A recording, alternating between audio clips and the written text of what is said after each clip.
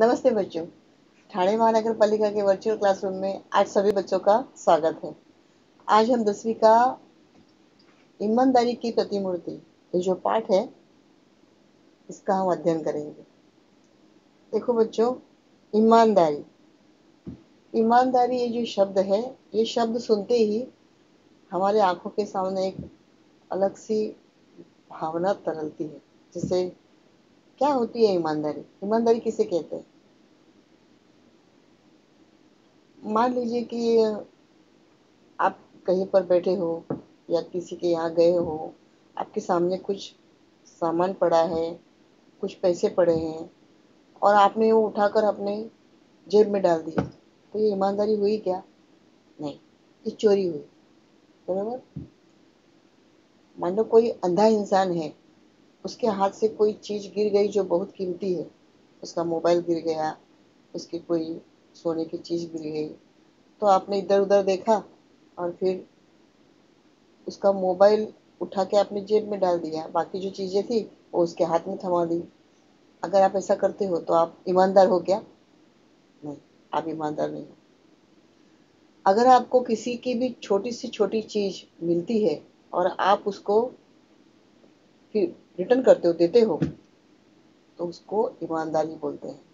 अगर आपने किसी को शब्द दिया है, वचन दिया है, किसी बात का उसको ये किया कि मैं अपनी बात पूरी करूँगा, वचन दिया है, और अगर आप वो बात पूर्ण करते हो, उस वचन के हिसाब से, उस दिए हुए शब्द के हिसाब से तो आप ईमानदार हो। कोई कोई लोग ऐसे होते हैं कि किसी से पैसे उधार लेते हैं, टक्के पर उधार लेते हैं और जब देने की बारी आती है तो या तो वो रास्ता मुकर कर निकल जाते हैं, या तो बोलते हैं कि अभी है नहीं, आएगा तो दूँगा, नहीं है तो कहाँ से दूँ? और उन्होंने जो तारीख दी होती है, उस तारीख को पैसे देते नहीं किसी किसी लोगों का ऐसा होता है कि पैसे तो ले लेते हैं, लेकिन वापस नहीं करते। दूसरी बात यह है कि कोई लोग ऐसे होते कि पैसे लेते हैं, बोलते कि मैं आपको बैच दूँगा एक टक्का से, दो टक्का से। फिर क्या करते हैं? एक महीना बैच देते दो महीना बैच देते साल भर बैच देते हैं, बराबर? और फिर बाद में बोलते हैं, थोड़ा पैसा देके अभी तो नहीं है हमारे पास अभी ये सब महामारी का ज़माना है, नहीं है। अभी आपको इतना बैच दिया ना तो आपका पैसा उसमें अदा हो गया। ऐसे लोग भी है। मतलब वो अपने वचन के पूरे नहीं होते। जब उनको ज़रूरत होती है, तब वो लोग रोते हैं, बिलबिलाते हैं गिड़गिड़ाते हैं गिड़गिड़ाते हैं और अपना काम निकाल लेते हैं। ऐसे लोगों से बहुत जीवन में सावधान रहना चाहिए बच्चों, और ऐसे लोगों को हमें पहचानने की भी शक्ति होनी चाहिए। इंसान को पहचानने की शक्ति कैसे होती है? अगर आप किताबें पढ़ोगे उसका पठन, मनन, चिंतन करोगे तो आप में एक अपने आप सरस्वती की शक्ति आ जाएगी, एक प्रेरणा आ जाएगी। कि सामने वाला इंसान कौन है, क्या है? आप उसको जान सकोगे, भाप सकोगे, इस तरह से। ईमानदार की प्रतिमूर्ति। ईमानदारी क्या होती है? सच्चाई क्या होती है?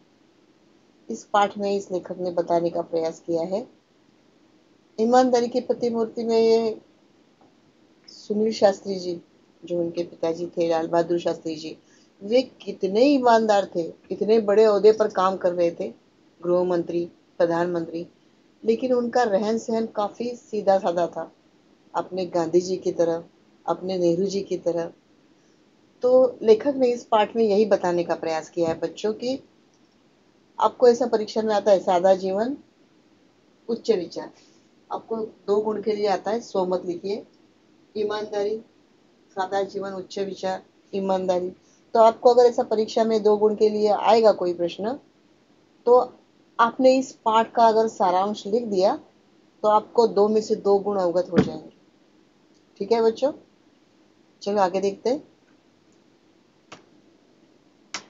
इस पाठ का जो परिचय है बच्चों, उनका जन्म 1950 में हुआ। परिचय सुनील शास्त्री, भारत के द्वितीय प्रधानमंत्री लाल बहादुर शास्त्री के पुत्र हैं। सुनील शास्त्री भारत के द्वितीय प्रधानमंत्री। लाल बहादुर शास्त्री के पुत्र हैं। मतलब ये जो लेखक महाराज है, ये कौन है? सुनील शास्त्री। उनके पिताजी कौन है? लाल बहादुर शास्त्री। वे कौन थे? भारत के दूसरे मुख्यमंत्री। ध्यान में रखिए बच्चों। आप एक राजनेता के अलावा कवि और लेखक भी हैं। आपको कविता, संगीत और सामाजिक कार्यों में विशेष लगाव है। सामाजिक, आर्थिक बदलाव पर आपने विचारों के पत्र पत्रिकाओं में व्यक्त करते हैं। आपकी प्रमुख कृतियाँ हैं। लाल बहादुर शास्त्री, मेरे बाबूजी, इस पुस्तक का अंग्रेज़ी अनुवाद भी हुआ है। गद्य संबंधी। प्रस्तुत पाठ में क्या बताया बच्चों की एक संस्मरण, एक याद, जो याद होती है ना, वो काफ़ी दिल को, मन को झुरझुरी से पैदा करती है मन में। खुशी की लहर आ जाती है, जब याद आती है किसी अच्छी बात की। संस्मरण। लेखक स्वर्गीय लाल बहादुर शास्त्री जी की ईमानदारी, सादगी, सरलता, सच्चाई और पर दुख, कातरता आदि गुणों को बड़े अच्छे ढंग से उजागर किया है। मतलब ईमानदारी क्या है? ईमानदारी दूसरों के प्रति ईमानदार, सादगी, सरलता, सच्चाई और पर दुख।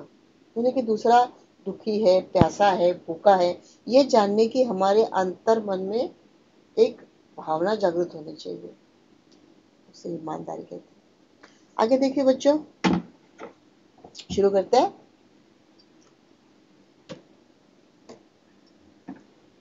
हमने अपने जीवन में बाबूजी के रहने अभाव नहीं देखा। उनके रहने के बाद जो कुछ मुझ पर बीता, वो एक दूसरी तरह का अभाव था। मुझे बैंक की नौकरी करनी पड़ी। अभी बच्चों, आप में से तो ऐसे बहुत से बच्चे होते हैं कि उनके पिताजी नहीं होते, किसी की माँ नहीं होती, किसी किसी के माता पिता दोनों भी नहीं होते। मामा के यहाँ रहते, पढ़ाई करते हैं, नानी के यहाँ रहते, पढ़ाई करते हैं, दादाजी के यहाँ रहते, पढ़ाई करते हैं। ऐसे लोग, बहुत से लोग होते हैं। तो वो जो खलल है, वो जो दुख है, वो दुख लेखक ने इस पहले चार पंक्ति में व्यक्त किया है कि पिताजी नहीं होने के कारण जीवन में कौन कौन सी समस्या का सामना करना पड़ता है? कि सब कुछ होते हुए भी ऐसा लगता है कि मेरा इस दुनिया में कुछ नहीं है, मेरा इस दुनिया में कोई नहीं है। तो इस तरह से उनको बहुत दुख लगता है कि अगर पिताजी होते तो क्या होता? पिताजी थे तब क्या था? एक दुनिया अपनी होती है, जब पिता का हाथ सर पे होता है और जब पिता का हाथ सर पे नहीं होता है तो बच्चों, वो जीवन जीने के लिए बहुत कठिन होता है। ये लेखक ने इसमें बताने का प्रयास किया है। लेकिन उससे पूर्व बाबूजी के रहते मैं जब जन्मा था, तब वे उत्तर प्रदेश में पुलिस मंत्री थे। उस समय गृह मंत्री को पुलिस मंत्री कहा जाता था। उस समय गृह मंत्री को पुलिस मंत्री कहा जाता था। इस अंडरलाइन करो, इस वर्ड को, इस लाइन को याद रखो। इसलिए मैं हमेशा कल्पना किया करता था कि हमारे पास ये छोटी गाड़ी नहीं, बड़ी आलीशान गाड़ी होनी चाहिए। बाबूजी प्रधानमंत्री हुए तो वहाँ जो गाड़ी थी, वह थी इम्पाला शेवरलेट। इम्पाला शेवरलेट तब के ज़माने की एकदम सबसे बड़ी उच्चतम गाड़ी। तो वो गाड़ी को देखकर ऐसा लगता था कि अगर कोई यहाँ नहीं होगा तो मैं तुरंत स्टार्ट करके गाड़ी को एक फेर फटका मार के आ जाऊँगा। दूर तक लॉन्ग ड्राइव करके आ जाऊँगा। इस तरह से उनके मन में एकदम एक झुझुझी सी आ जाती थी। तो लेखक कहते हैं, उसे देख देख बड़ा जी करता, मौका मिले और उसे चलाऊं। प्रधानमंत्री का लड़का था, कोई मामूली बात नहीं थी। सोचते विचारते कल्पना उड़ान भरने के एक दिन मौका मिल गया। धीरे धीरे हिम्मत भी खुल गई थी ऑर्डर देने की। हमने बाबूजी के निजी सचिव से कहा, साय साहब, जरा ड्राइवर से कहिए, इम्पाला लेकर रेजिडेंस की तरफ़ आ जाए। रेजिडेंस? रेजिडेंस ये इंग्लिश शब्द है बच्चों। मतलब जहाँ पे सोसाइटी होती है, बहुत सारी बिल्डिंगें होती है, या बहुत सारी चालियों की एक सोसाइटी होती है, या बिल्डिंग की सोसाइटी होती है, उसको रेसिडेंसी या रेजिडेंस कहा जाता है। तो वो ऑर्डर देता है पिताजी की तरह कि मैं प्रधानमंत्री का बेटा हूँ ना तो इतने बड़े अहदे का, इतना बड़ा पदाधिकारी का मैं बेटा हूँ। तो वो अपने सचिव से बोलता है कि, सचिव शाह साहब, जरा गाड़ी रेसिडेंस के यहाँ लेके जाइए, लेके आइए, कि मतलब ये घूम के आएगा इस तरह से। दो मिनट में गाड़ी आकर दरवाजे पर लग गई। अनिल भैया ने कहा मैं तो इसे चलाऊँगा नहीं, तुम ही चलाओ। मैं आगे बढ़ा, ड्राइवर से चाबी मांगी, बोला, तुम बैठो, आराम करो, हम लोग वापस आते हैं अभी। गाड़ी ले हम चल पड़े। क्या शान की सवारी थी। याद कर बदन में झुरझुरे आने लगी।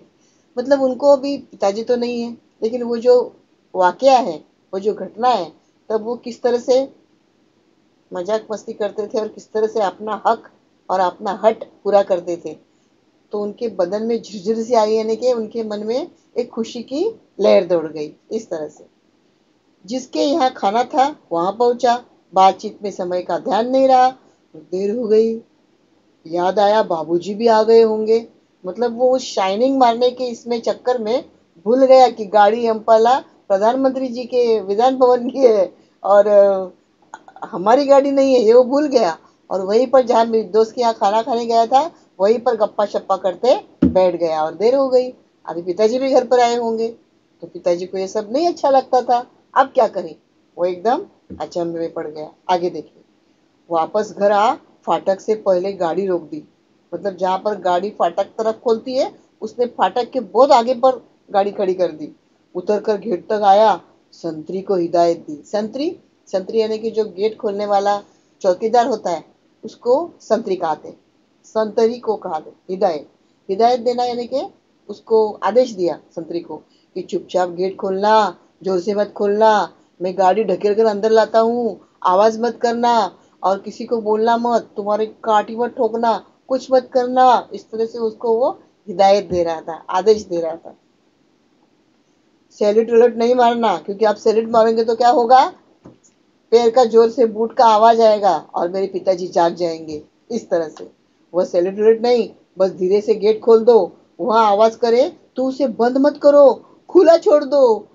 बाबूजी का डर, वह खटपट सैल्यूट मारेगा तो आवाज़ होगी। और फिर गेट की आवाज़ से बाबूजी को हम लोगों के लौटने का अंदाज़ा हो जाएगा।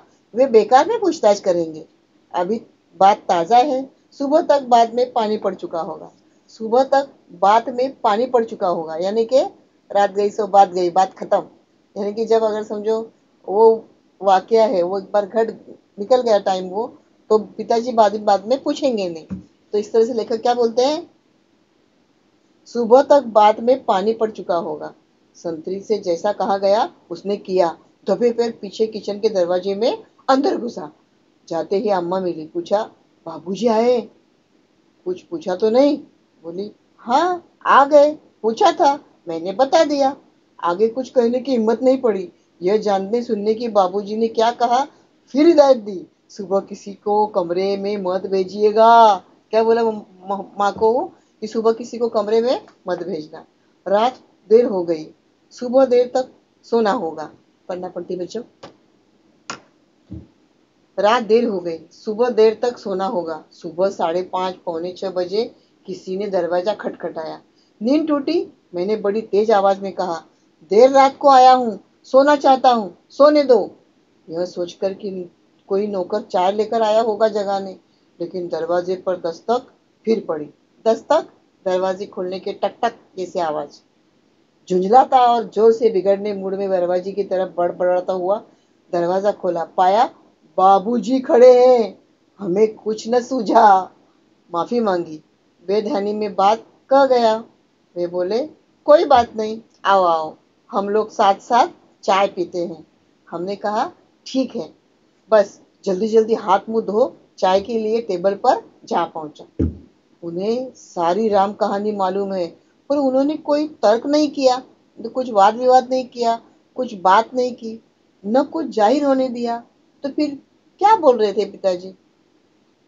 कुछ देर बाद चाय पीते पीते बोले अम्मा ने कहा, तुम लोग आ गए हो, पर तुम कहते हो रात बड़ी देर से आए। कहा चले गए थे? देखो। अम्मा ने तो कहा नहीं। संतरी जो था, चौकीदार उसने भी कहा नहीं। इन्होंने खुद ब खुद अपनी चोरी बता दी कि मैं रात बड़ी देर से आया हूँ, मैं सोना चाहता हूँ। वो पिताजी ने सुन लिया। आगे देखिए। हाँ बाबूजी एक जगह खाने पर चले गए थे। उन्होंने आगे प्रश्न किया, लेकिन खाने पर गए तो कैसे? जब मैं आया तो फिएट गाड़ी गेट पर खड़ी थी। गए कैसे? हम इम्पाला शेवरलेट लेकर गए थे। बोले ओ हो तो आप लोगों को बड़ी गाड़ी चलाने का शौक है। बाबूजी खुद इम्पाला का प्रयोग न के बराबर करते थे और वह किसी स्टेट गेस्ट में आने पर ही निकलती थी। उनकी बात सुने मैंने अनिल भैया की तरफ़ देख आग से इशारा किया। मैं समझ गया था कि यह इशारा इजाज़त का है। अब हम उसका आए दिन प्रयोग कर सकेंगे। चाय खत्म कर उन्होंने कहा, सुनील, जरा ड्राइवर को बुला दीजिए। मैं ड्राइवर को बुला लाया। उससे उन्होंने पूछा, तुम लॉग बुक रखते हो ना? उसने हाँ मैं उत्तर दिया। उन्होंने कहा, एंट्री करते हो? कल कितनी गाड़ी इन लोगों ने चलाई? वो बोला, चौदह किलोमीटर। हाँ अब देखो। मतलब उनका ऐसा था ईमानदारी यानी के कि किसी दूसरे का हो या अपने हम जहाँ नौकरी करते वहाँ का हो, उनकी चीज़ हो, सरकार की चीज़ हो, शासन की चीज़ हो तो हमें उसका गलत इस्तेमाल नहीं करना चाहिए। वो चीज़ हमें हमारे घर में प्रयोग नहीं करनी चाहिए, इस तरह से। उन्होंने हिदायत दी, उसमें लिख दो, चौदह किलोमीटर निजी उपयोग। क्या लिख दो? चौदह किलोमीटर निजी उपयोग मतलब वो गाड़ी हम लोगों ने हमारे खुद के काम के लिए चलाई है, ऐसे उसमें लिख दो। ऐसा आदेश दिया किन्होंने स्वर्गीय लाल बहादुर शास्त्री जी ने उस वक्त। तब भी उनकी बात हमारी समझ में नहीं आई। फिर उन्होंने अम्मा को बुलाने के लिए कहा। क्या कहा अम्मा को बुलाने के लिए? अम्मा जी के आने पर बोले, साय साहब से कहना, साठ पैसे प्रति किलोमीटर के हिसाब से पैसे जमा करवा दे। क्या बोले? साय साहब को, साठ पैसे प्रति किलोमीटर। देखो, पूछने वाली बात है। आज लोग साठ किलो रुपए और अस्सी रुपए किलोमीटर के हिसाब से किधर किधर जाते हैं, उस जमाने में साठ पैसे किलोमीटर था। तो उनके उनको ऐसा लगा कि हमने क्यों शासन का, सरकार का पैसा क्यों हमें गाड़ी खरीदनी? क्यों हमें गाड़ी वापरनी चाहिए, नहीं वापरनी चाहिए? तो उनको ये इसके खिलाफ थे वो। इतना जो उनका कहना था, हम और अनिल भैया वहाँ रुक नहीं सके। जो रुलाई छूटी तो वो हम हम कमरे में भागकर पहुँचने के बाद भी काफ़ी देर तक बंद नहीं हुई। दोनों ही जन देर तक फूट फूट कर रोते रहे। फूट फूट कर रोना ज़ोर ज़ोर से रोना। वे ज़ोर ज़ोर से रोते रहे। क्यों? क्योंकि उन्होंने गलती की ना। दूसरों की चीज़ वापरी थी। बेईमानी की थी, इसलिए। आपसे यह बात शान के तहत नहीं कर रहा, इसलिए कि ये बातें अब हमारे लिए आदर्श बन गई है। सक्रिय राजनीति में आने पर सरकारी पद पाने के बाद क्या उसका दुरुपयोग करने की हिम्मत मुझमें हो सकती है? नहीं। आप ही सोचे मेरे बच्चे कहते हैं कि, पापा, आप हमें साइकिल से भेजते हैं, पानी बरसने पर रिक्शे से स्कूल भेजते हैं, पर कितने ही दूसरे लोगों के लड़के सरकारी गाड़ी से आते हैं, वे छोटे हैं, उन्हें कलेजा चीरकर नहीं बता सकता, समझाने की कोशिश करता हूँ, जानता हूँ, मेरा यह समझना कितना कठिन है, फिर भी यह समय होने पर भी कभी कभी अपनी गाड़ी से छोड़ देता हूँ। अपना सरकारी औदा औदा यानी के पद, पोस्ट। छोड़कर आया हूँ। आपके साथ यह सब फिर ज़िक्र तक तनिक ताज़ा और नया महसूस करना चाहता हूँ। कोशिश करता हूँ नींव को पुनः संजोना संवरना की मेरे मन का महल आज के इस तूफानी झंझावत में खड़ा रह सके। यानी कि मेरे जो बच्चे हैं, ये जो मेरी नींव है, ये अगर गलत रास्ते पर चलेंगे, इनको दूसरों की चीज़ इस्तेमाल करने की अगर आदत पड़ जाएगी तो जीवन में ये कभी सफल नहीं हो पाएँगे। तो इसलिए मैं ये नहीं चाहता हूँ, इस तरह से लेखक कहते हैं। याद आते हैं बचपन के वे हसीन दिन, वे पल जो मैंने बाबूजी के साथ बिताए। वे अपना व्यक्तिगत काम मुझे सौंप देते थे और मैं कैसा गर्व अनुभव करता था। एक होड़ थी कि जो हम भाइयों में लगी रहती थी, किसे कितना काम दिया जाता है और कौन उसे कितनी सफ़ाई से करता है। एक दिन बोले, सुनील, मेरी अलमारी काफ़ी बेतर, बेतरतीब हो गई है। तुम उसे ठीक कर दो और कमरा भी ठीक कर देना। बेतरतीब। बेतरतीब यानी के अस्ता व्यस्त होना बिखर, जाना। वे कुर्ते बोला कोई यहाँ से फट रहा था। हाँ बेतरतीब यानी के अस्ता व्यस्त होना। मैं मैंने स्कूल से लौटकर वह सब कर डाला। दूसरे दिन मैं स्कूल जाने के लिए तैयार हो रहा था बाबूजी ने मुझे बुलाया, पूछा, तुमने सब कुछ बहुत ठीक कर दिया। मैं बहुत खुश हूँ। पर वे मेरे कुर्ते कहाँ हैं? कुर्ते यानी कि उन जो पहनते थे ना पाजामे के ऊपर जो शर्ट पहना जाता उसको कुर्ता बोलते मैं बोला, वे कुर्ते भला, कोई यहाँ से फटा रहा था, कोई वहाँ से? वे सब मैंने अम्मा को दे दिए। उन्होंने पूछा, यह कौन सा महीना चल रहा है? मैंने जवाब दिया, अक्टूबर का, अंतिम सप्ताह। उन्होंने आगे जोड़ा, अब नवंबर आएगा। जाड़े के दिन होंगे, तब ये सब काम आएँगे। ऊपर से कोट पहन लूँगा ना? मतलब अगर फटा हुआ है तो कौन देखेगा? ऊपर से मैं कोट पहन लूँगा। ठंडी का दिन, ठंडी का मौसम है। यानी कि वो फटा हुआ कुर्ता भी नहीं फेंकना चाहते थे, क्योंकि पैसा का अपव्यय नहीं करना चाहते थे।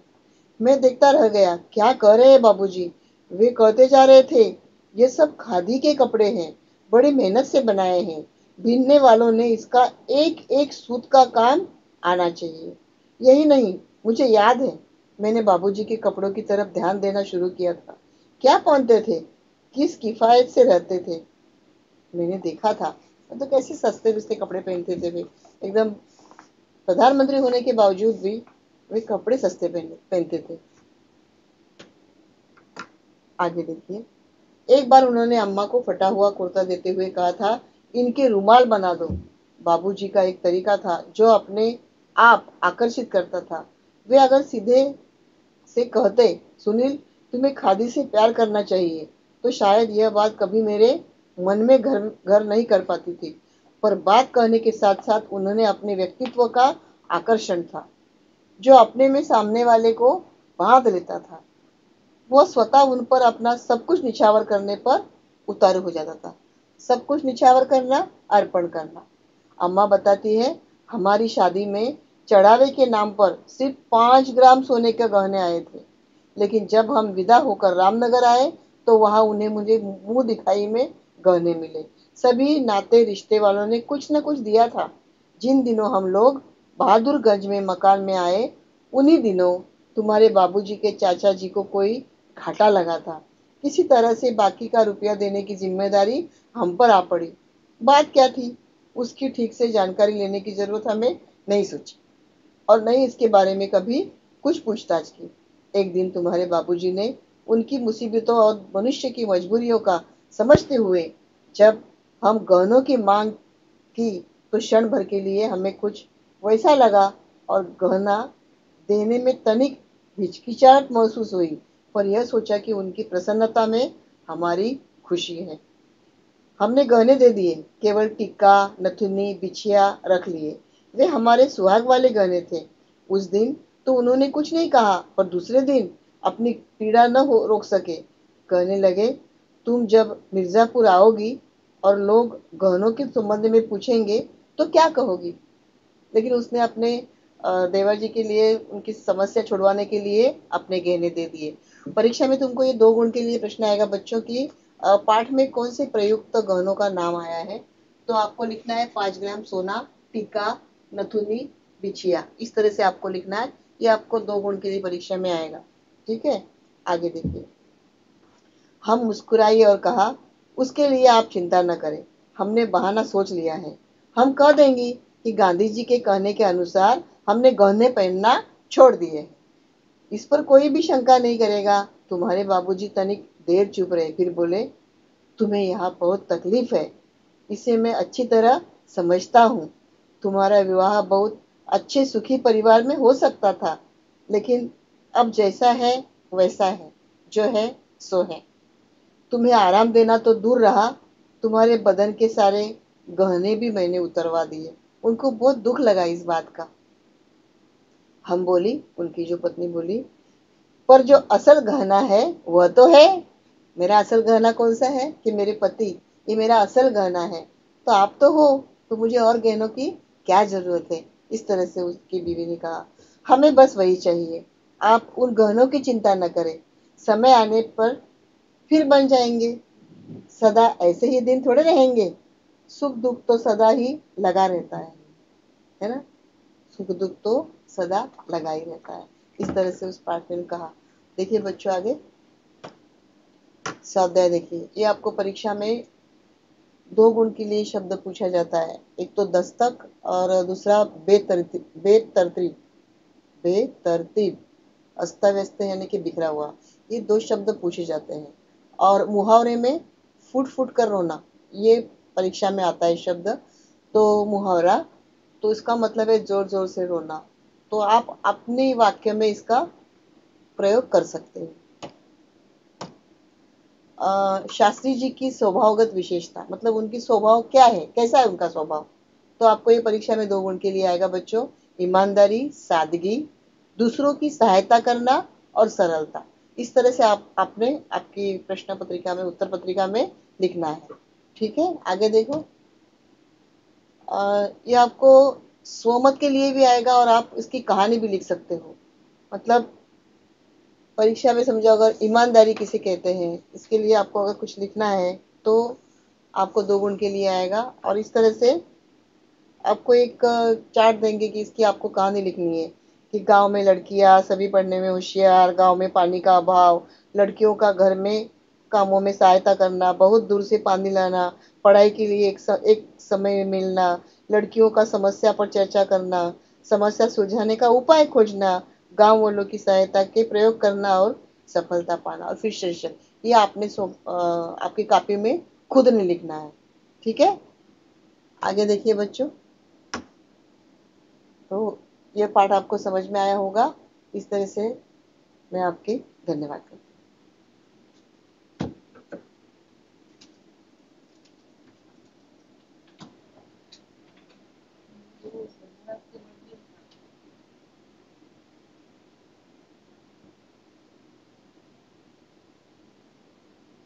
थोड़ा सा